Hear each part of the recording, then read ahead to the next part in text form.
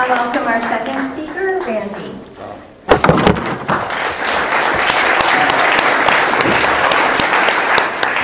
Okay, hello everybody. My name is Randy and I am alcoholic. Hi, Randy. It's amazing to be in this room with all this energy of all you alcoholics and non-alcoholics that are here today.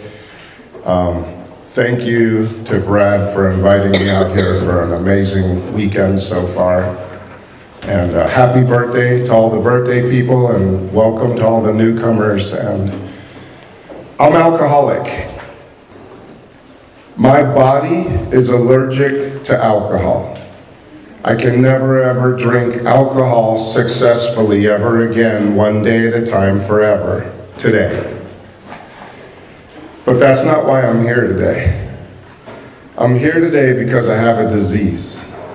And the disease they call it, they call that disease alcoholism, which is a strange thing because they have named the disease after the treatment for the disease. It's like calling diabetes insulinism.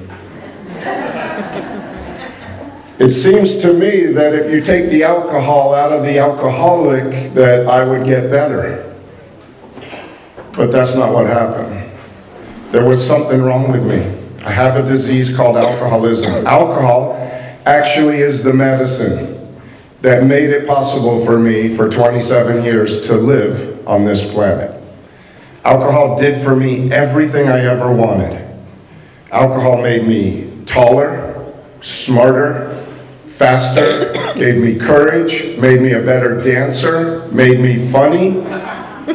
I think there's a lot of people that would argue about all of that, but when I was drunk, I was sure that I was smarter, faster, more courageous, and funnier. The reason I drank alcohol and the reason I became allergic to alcohol is because of my alcoholism. It's because of a disease that centers in my mind. And it's a disease that talks to me. And it's a disease that talks to me in my own voice. So I believe everything that it says because it's me. Why would I lie to me? That doesn't make any sense at all. And it manifests as an unsatisfiable, fault-finding, opinionated mind. That's always in a hurry, easily frustrated, and can't stand the word no. If you say no to me, I'm pretty sure I asked the question wrong. so I will rephrase that question over and over and over again until you either run out of my life screaming or you say yes. And then we'll all be happy. so because of this mind, because I have an unsatisfiable, fault-finding, opinionated mind, that mind, and it's talking to me, and it's talking to me all the time. It talked to me this morning. It said, Randy, what are you going to do? What are you going to say at this meeting? We got to think of something. And over and over and over again, it kept wanting me to rehearse something, come up with a story. We got to protect yourself. This is terrifying. You're going to get up and talk in front of 200 people, and you don't, you haven't practiced.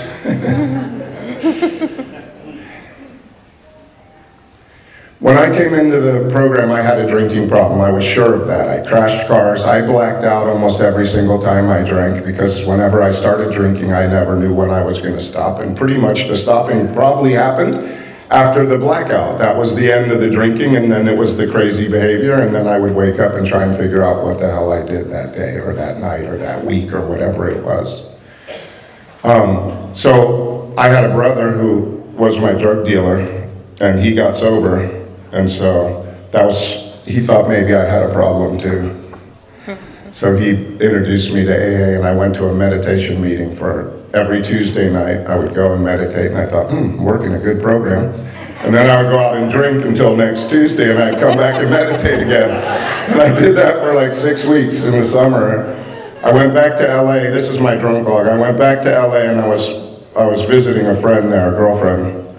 And every day she would go to work, and every day I was going to go out and see some friends and, and live my life and get out. And, and I wasn't going to drink. And then around lunchtime, I would say, mm, I'm just going to have a beer, just one beer today, just a beer. And then I was on the phone getting other stuff and drinking and, and using cocaine around the clock and watching the crack under the door because I'm sure somebody's coming to get me. And my self-talking mind told me, this is a great vacation. That's the end of my drinking and, and drugging. I came back, I got sober in Miami. I went to a meeting every day. It was a noon meeting, and I met this guy. I was 27 years old when I got sober, so I've been sober a little while. And my sponsor was 52. He was this really old guy. and I used to go have lunch with him every day after the meeting. And uh, one day I said to him, Hey, you know what? When I'm 52, I'm going to have 27 years of sobriety. And he says, No, you're not. he didn't think I was going to make it. He was a lovely man, but he told the truth as he saw it, and that was one of his truths. I wasn't going to make it. So I made it. He wasn't around at 52 when, when I got there. I couldn't find him, but. So I came into the program and they taught me how to not drink one day at a time. Here's the trick to not getting drunk today. If I don't want to get drunk today, I can't take the first drink, no matter what. That's it. That's all the instructions there are for not drinking. If you don't want to get drunk today, you don't take the first drink. Now, for an alcoholic with alcoholism, for me, that's impossible. That is impossible because I have a mind. I have a fault-finding, opinionated, unsatisfiable mind. So my mind, I wake up in the morning and my mind says, Randy, you need a new car. And I go, hell yeah, that's a great idea. I need a new car. I'm going to get a new car. And then I go to work and everyone else is working and I'm on the internet because I need a new car. My mom told me I need a new car. It's, obviously it's true, I need a new car. And so I'm shopping for cars, everyone else is working. Uh, I drive home on the freeway and I'm looking at cars. I'm not driving, I'm just looking at cars and I'm picking out cars and I'm deciding which car I'm gonna get. And, you know, for six months, that's all I do is talk about cars and what color I want and what car I want. And I'm talking to myself and I'm, and I'm constantly obsessed with cars. And my mind's telling me, come on, let's go, let's buy the car. And I buy the car. That same mind, exactly the same voice, it says, why'd you buy a car? you don't need a new car. You have a car. Now you have a new car payment. You're an idiot. There's something wrong with you. My own mind, the same mind that told me I needed a car and was so excited about getting a car, is the mind that turns on me and tells me you're an idiot. And it does it with everything. I didn't know that was alcoholism. I thought that's just, I just, I'm just, maybe I'm stupid. Maybe, I, I don't know. But that's what my mind does. It does it with girls. I had a girlfriend, great. When I met this girl, she was the most beautiful thing I'd ever seen, and I was positive she was the one. And I tricked her into going out with me. I started a relationship with her. Two weeks later, that mind that told me how perfect she was and how happy I was going to be started telling me what's wrong with her. Starts finding fault with her. And now it's talking to me, I gotta get out of this relationship. The same mind that told me to stay in it, to find it, to get it. And then for six months, I talk to myself about breaking up with her, and I weigh all the pros and cons, and I talk to myself incessantly. And then I break up with her. And that same mind, about five minutes later, says, Oh my God, what an idiot you are. She's the best girl you're ever gonna have. Why would you break up with her? You're such an idiot. This goes on all day. This is my mind. I wake up in the morning and it tells me I'm in the wrong job. It's the job that it told me was exactly the right job, and I'm married to the wrong woman, and I have the wrong kid, and I drive the wrong car. And it never shuts up and it never stops, and it's alcoholism. And by the way, let me say this I hope that you don't have what I have. I hope that you are a heavy drinker and that you're able to stop drinking in your life and you live happily ever after and you find the right girl and you have the right amount of money in the bank all the time and that you have the right job, and that you live in the right neighborhood, and your mind doesn't talk to you like mine does. But I call that alcoholism because that is the reason I need to drink. It's because of the way that my mind talks to me. It gets me to be what the book says. These words are used so much, they're like meaningless, but I become, because of my mind, restless, irritable, and discontent. Discontent means unsatisfied. I didn't know that for years in the program. I was, my, my sponsor, my second sponsor, when I met him, he talked about an unsatisfied mind. I'd never heard that before in AA. Never heard it. I thought AA was for drinking. You go to AA to learn how to not drink, and you work the steps because you have a sponsor, and that's the chores you have to do. You have to do the steps to have the obsession to drink removed. And once the obsession to drink is removed, the disease is treated, and now I can get on with the business of getting the things that I think I should have because I'm sober, for God's sakes, and the world should give me all kinds of stuff because I'm being such a good boy.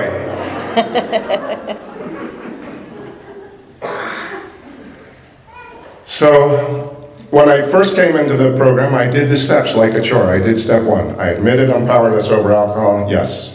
And I admitted that my life was unmanageable had become unmanageable because of alcohol. I crashed cars, I trashed jobs, I couldn't stay in places to live. I had friends that, that uh, not many friends. I had a hostage. I always had like one hostage, but I never had friends. Because a friend is a crazy thing. A friend, I thought friends were people that admired me and talked good about me and treated me like I was special. I thought, okay, you can be my friend. You, you treat me good. That's not what a friend is. A friend is somebody who treats other people good and, and treats others well and thinks good thoughts of others and tries to build up others. I don't, I didn't want to be that guy. I, I wasn't interested in building you up. If you wanted to be my friend, you had to build me up. So hence I didn't have a lot of friends. But I came in and I admitted that my life was unmanageable. It was my outside life. My cars, my money, my jobs, my everything was messed up when I got here because of alcohol. And then step two, we read and we talked and we read and we talked and I, we went into step two. And in step two, I, uh, he said, I didn't really believe in God, but I was sober now about six months. And that was impossible because I drank every day and I loved alcohol. And it was impossible that I wasn't drinking. So my sponsor asked me, am I willing to believe in a, that a power greater than myself exists? Are you just willing to believe? And I said, yes, I'm willing. I'm willing to believe that because I haven't drank. And then he said, okay. And we read some more stuff and we talked and we read and we talked and he said, okay, we're doing step three today. And uh, we got on our knees. I'd never done anything like that before, never. I got on my knees next to another man, and he held my hand, and we prayed.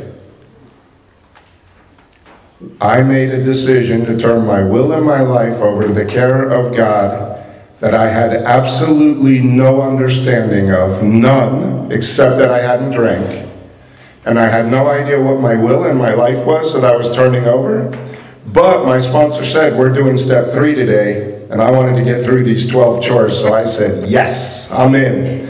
And I did the prayer. And I did the rest of the steps like that, like a chore, and I checked them all off, and I made it through 12. And now it was, you know, go out and find a newcomer to, to share all this amazing knowledge that I had. Well, at a year and a half of sobriety, I started, you know, the, that self-talking mind started talking to me loudly, and it said, you know, you got a year and a half of sobriety. This job that you have right now, it's not really, it's below you. You need a better job. You should be making more money.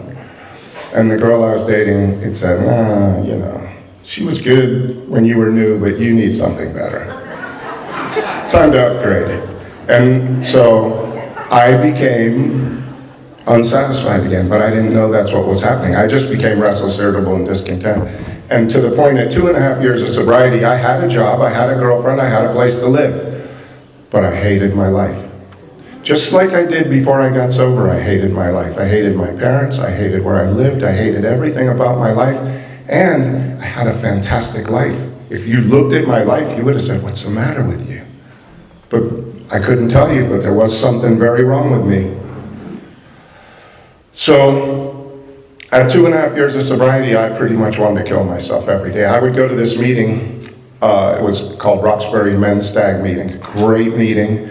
Be like 150 guys every Wednesday night. You had to come a half an hour early if you wanted a chance at a seat. And we'd stand in line and everybody be patting everybody on the back and everybody be so excited and happy. And I was standing there and I was not happy. And I was not excited. And I, I didn't have any friends there because I have a problem with friends. And, uh, and they would all clap each other on the back. And, and, and after the meeting, they would always say, just don't drink today and you're a winner. And I would go home after that meeting and I would sit on my bed and I would weep. Because I was not a winner. My mind told me I was a loser. I'm two and a half years sobriety. This is my job. This is where I live. This is the car I'm driving.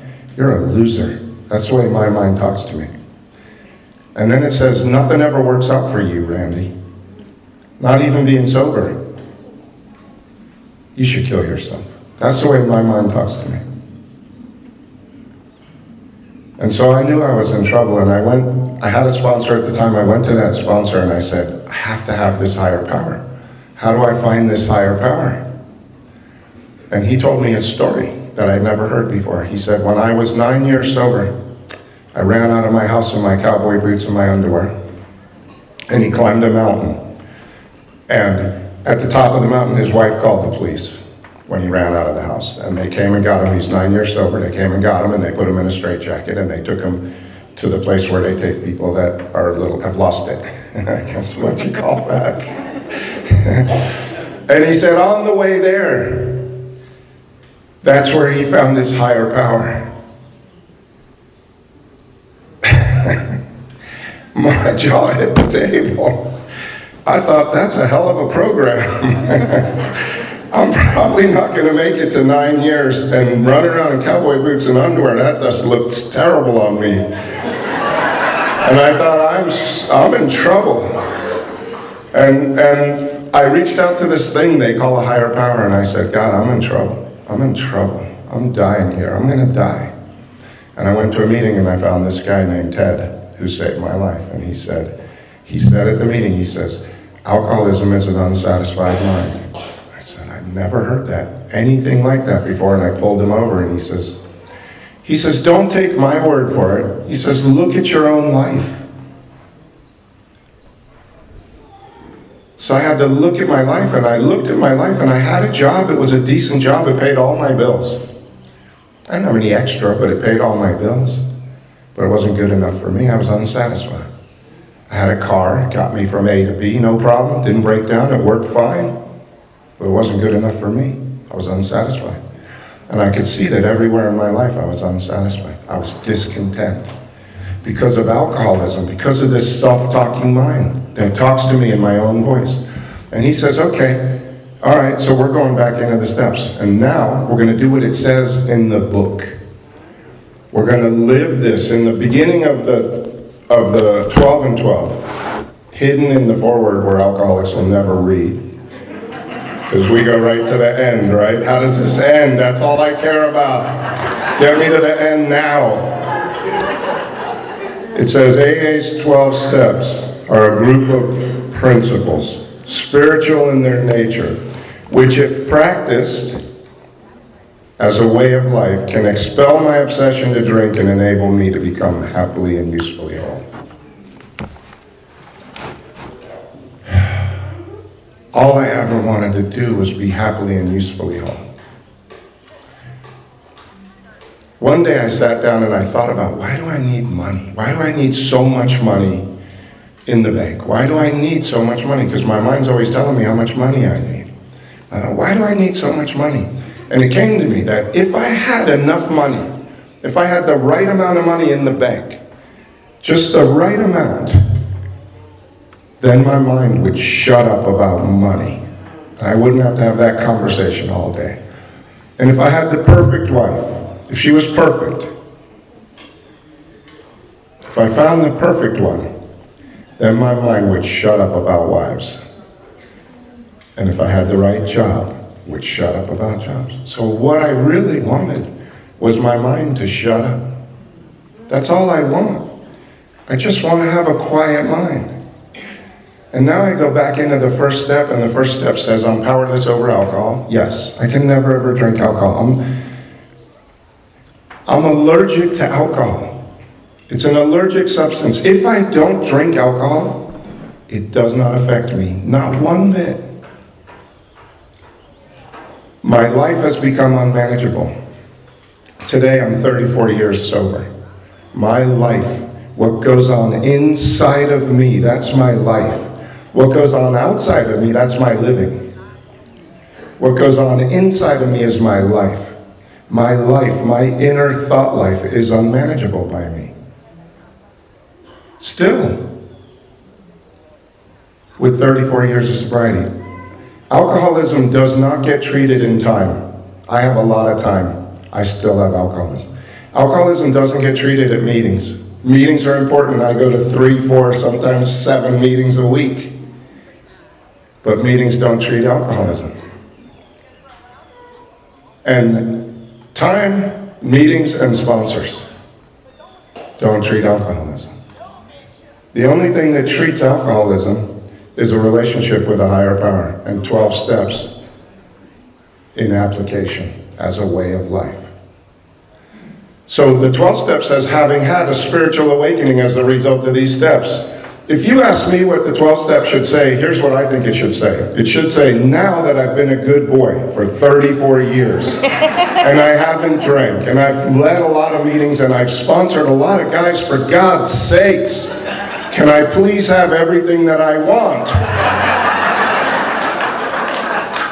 That's what I, the, the 12 steps should say. Now you've done all these chores for all this time, and you've been a good boy, now you get everything that you want, and go enjoy it. But it doesn't say that. It says, having had a spiritual awakening as the result of these steps. I can't tell you.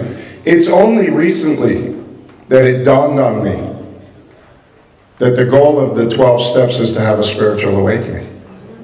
It's not to have a better job. It's not to have more money in the bank. All those things happen if I stay sober. But that's not the goal of the 12 steps. It's to have a spiritual awakening. So, my life has become unmanageable by me. I cannot stop the thoughts that are going to come into my head. And at the end of the first step, it says, I stand ready to do anything which will lift my merciless obsession. We didn't ask, but I'm sure there's some new people in this room. And there's probably some people that aren't even sure they have alcoholism yet.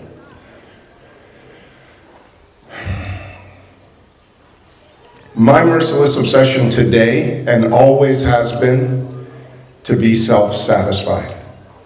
To have the thing, whatever the thing is that my mind tells me today is the thing that is the thing that if I had that, then I would be happy. If I only had Joey's farm, how could I not be happy? If I had Joey's farm, I'd be the happiest alcoholic ever. Joey, you want to make me happy? All I need is a farm, this one. Then I'll be happy. My merciless obsession today is to be self-satisfied. When I don't get self-satisfied, I become restless, irritable, and discontent. And that's when the urge to drink gets stronger and stronger and stronger. I'm either going to drink or kill myself. Or I'm going to do the worst thing I ever have to do. To me, this was the, the worst or the hardest. I had to start coming to believe right now that there's a power and that that power is greater than me and that that power the one that's greater than me is the power that's going to restore me to sanity i have lost the job i am no longer authorized to go to my mind and ask me what would make me happy because i'm the wrong power for that job that's it My wife, when I met her, well, before she was my wife, she was in the choir at a church. And so she asked me if I would go and listen to her sing. I'm not a church person. It's not my thing. Well, wasn't my thing at the time, for sure. I was sober 10 years already. And uh, I said, yes, I'll go. Enthusiastically, because I like this woman and I want her to think I'm a nice guy, so I go. Inside, I'm going, for God's sakes, really? I gotta go to church? This is a lot to ask. I hope this doesn't go on for a long time. But I went to that church and she sang and it was beautiful. She was in the choir, so it was hard to hear her specifically, but it was fun to watch. But the preacher got up on stage and he did his thing, and it's a very boisterous church. And he, I didn't hear a word he said, of course, because I was talking to myself about when, when and if I should ask this woman to marry me. I was really busy with that conversation and the church things going on, just like some of you right now are very busy out there. You're very busy adding up how much money you got in the bank or what kind of car you drive or if you're going to ask this girl to marry you. I know you are because that's what I did.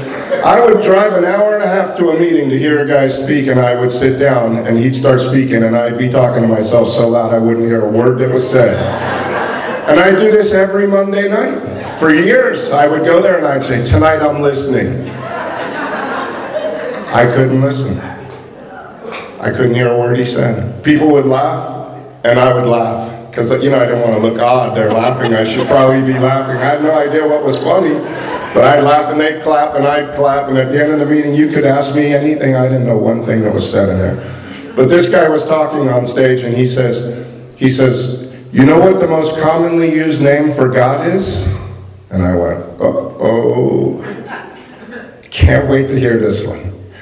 And then people in the audience all shout, it's Jesus, it's Buddha, it's Muhammad, it's Allah. It's... This was an open church, by the way. Uh, and they called out all these names, and, and he said, no, it's not Jesus, it's not Buddha, it's not Allah. He said, the most commonly used name for God is something. Something told me to get that girl's phone number. Something told me to take that job. Something told me to ask for help. Something told me to go to Alcoholics Anonymous. So I asked something to help me today. Something, could you help me? I don't know what that thing is. I don't know if there's a God. I do not know if there's a God. But I know that something helps me stay sober today. And I know that if I rightly relate myself to that something, that I get a peace, I get a quiet, I get a calm. So the book says, true humility, this is the last line in the second step. True humility and an open mind can lead me to faith. An open mind is an open-mindedness. I thought I had an open mind. I told my sponsor, I have an open mind. If two gay people want to get married, that is perfectly okay with me. I'll have an open mind. He said, no, that's not an open mind. That's open-mindedness. But an open mind is a mind that's present, that's here, right here, right now in this room. And it's open to this moment being exactly the way this moment is supposed to be right now. It's open. No preconceived ideas. No old ideas. I think we read that somewhere in how it works. Have to let go of my old ideas. Absolutely. All of them. Or the result is nil. The result of being at peace in this moment is nil. So it says, true humility and an open mind can lead me to faith. And every AA meeting, this is an AA meeting, is an assurance that God will restore me to sanity if I rightly relate myself to it. So going to a meeting does not make me more sober. It's good. I go to a lot of meetings. I am not saying don't go to meetings. Go to a meeting every day if you can. But a meeting's not going to restore me to sanity. It doesn't say going to a meeting will restore me to sanity. It says every AA meeting is an assurance that God will restore me to sanity if I will rightly relate myself to it right now. Right here. The only moment that I can have a relationship with my higher power is right here, right now. In this room.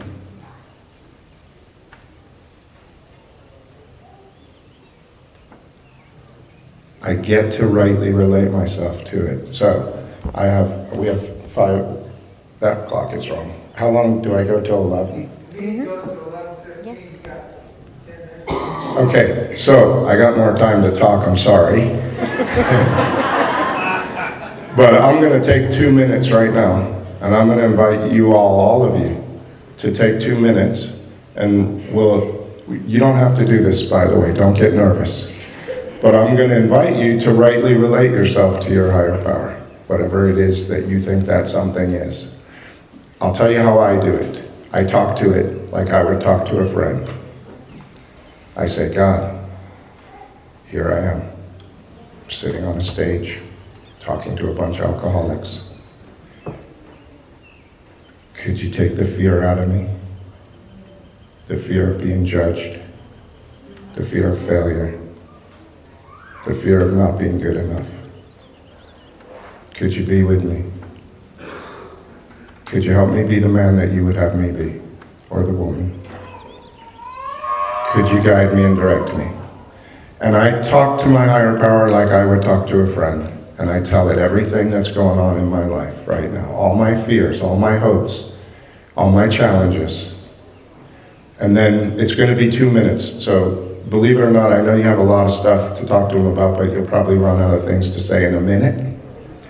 So then take the next minute or however long you have left and just thank that thing, whatever it is. Just take a minute and thank it for everything that you do have in your life. And I'm going to stop talking now for two minutes.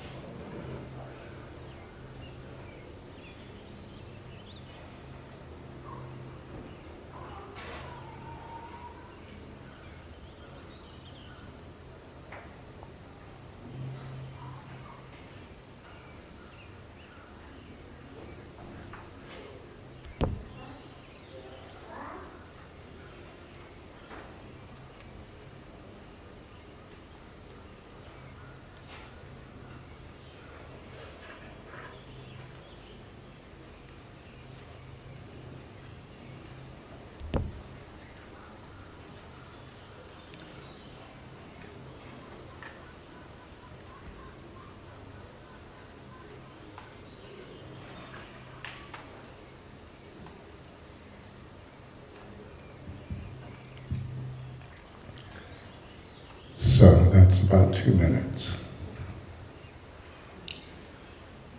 Every time I do that, every time I stop and I rightly relate myself to my higher power, my mind gets quieter. I get a moment of peace, a moment of quiet. That's what I call sanity. I don't think sanity is making the right decisions all the time and not making mistakes. I'm going to do all that. I'm human. I'm never going to be perfect. But I can have a moment of peace in any moment because my higher power is with me wherever I go. And I can make conscious contact with my higher power in any moment that I will stop whatever it is I'm doing and saying and being in, inside, and I will turn my attention to a higher power.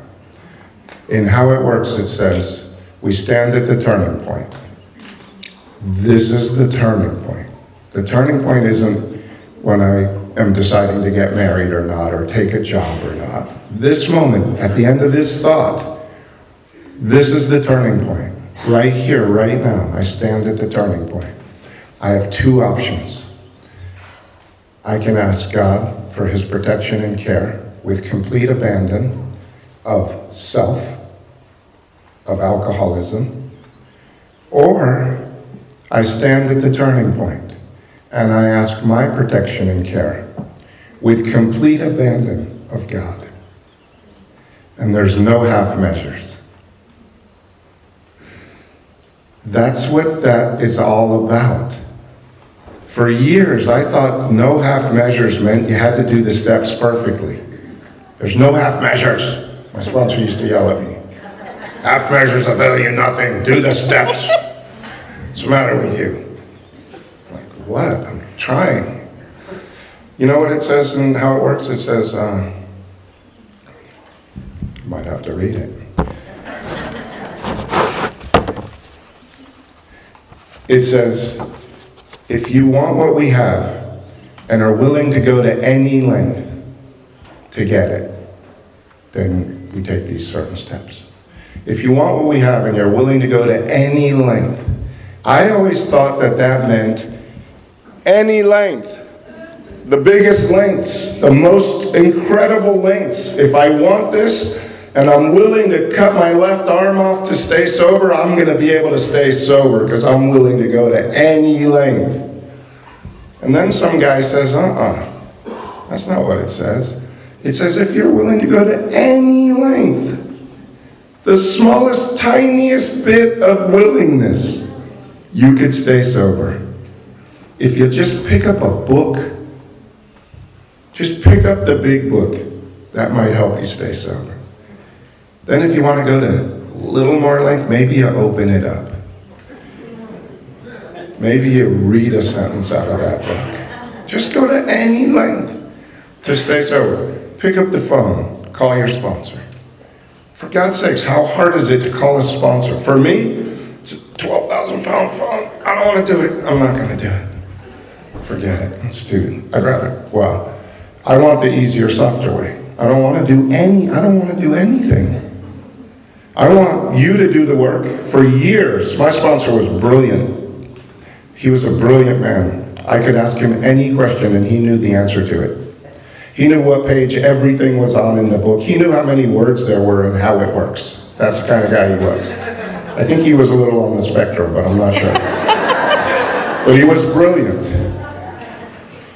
And I could always call him and ask him what to do. And so I would call him. And every time I'd call him, he'd say, Have you talked to God about that? And I'd say, No, Ted. You got the answers. I know how smart you are. I'm calling you because you talk back to me and I get the answers. And I did that for years, and I would trust and rely on Ted, my sponsor, to be my answer. The book says, in, in, in step nine, it says the most amazing thing. It says that if I do this all the way through step, halfway through step nine, it says I'm going to intuitively know how to handle situations that used to baffle me. Well, I can tell you, everything baffles me. What shirt do I wear to this meeting today? Baffles me. Is it going to be too hot for this shirt? Should I wear a different shirt? I don't know. Is green going to look good up on the stage? I don't know. Should I have breakfast or not have breakfast? Because if I eat breakfast, I might be too full to talk. But if I don't eat breakfast, I might get too hungry to talk. Everything is baffling to me. The program gives me the greatest gift on the planet. What could be better? I, intuit, I get to intuitively know the answer to everything in the moment that I need it. And it's intuitive. I know the books. Believe me, I've read these books. I've practiced what it says in the books. I understand the words and the name and the order they're in. It all makes sense to me. I understand it. But if I'm not practicing it, I don't get it.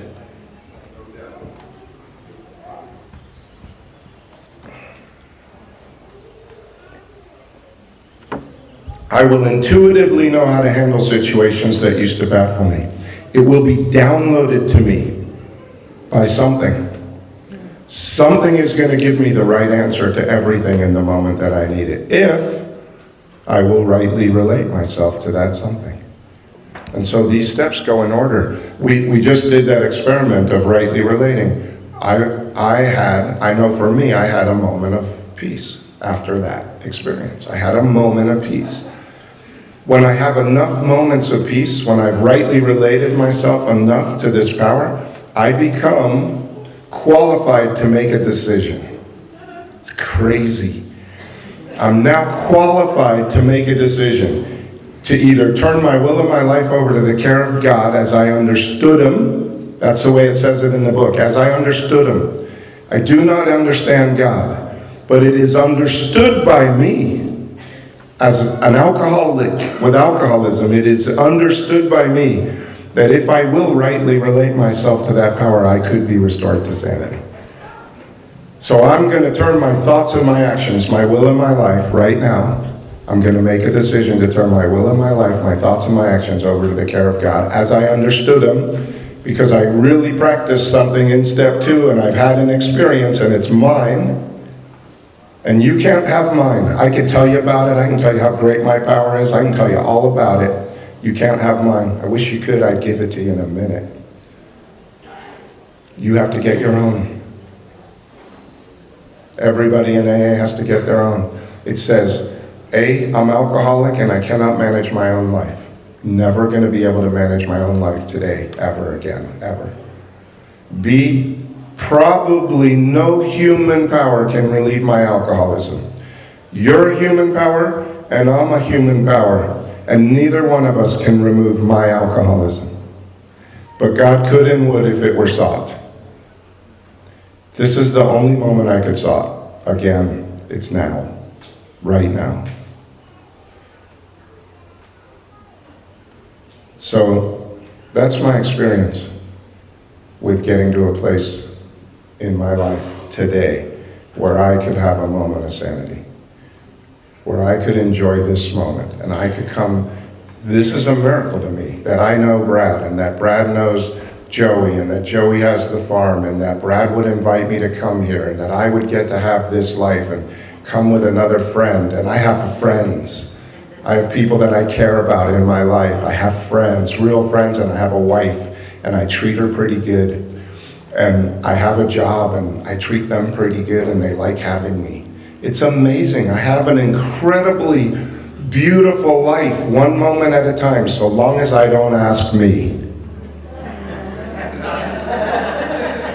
If I ask me how I'm doing today, well, I look at somebody else, anybody else, and I judge myself against them, and I'm not doing so good. I cannot ask me how I'm doing. I ask God, God, how am I doing today? How am I doing?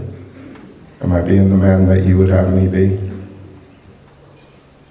I appreciate you all so much. I'm so grateful that I have this life that Alcoholics Anonymous has given me. I could never have the life that I have without it. And uh, enjoy the rest of your day.